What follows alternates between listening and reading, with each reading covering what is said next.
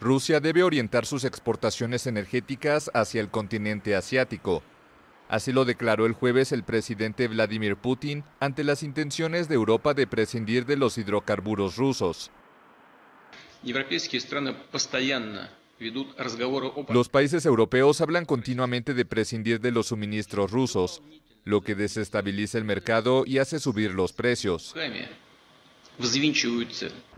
Las declaraciones de Putin se producen mientras los países europeos contemplan ampliar sus sanciones contra el sector energético ruso en reacción a su intervención militar en Ucrania.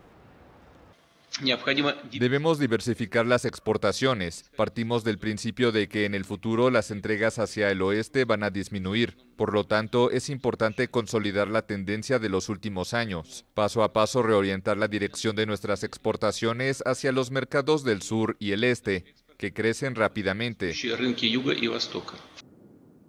La Unión Europea, Estados Unidos y Japón ya anunciaron un embargo sobre el carbón ruso, pero los miembros del bloque europeo no han llegado a un consenso sobre un posible embargo del gas ruso, del que Alemania es muy dependiente, por lo que se opone al cese de las importaciones.